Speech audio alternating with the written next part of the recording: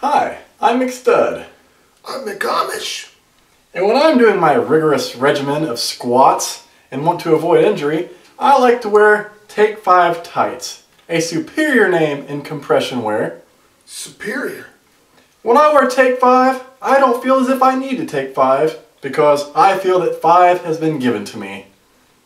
Five in the hand is better than two in the sand. Nobody wants two in the sand. And these fit snugly against my thighs and gluteus maximuses. Hit it away, McAmish.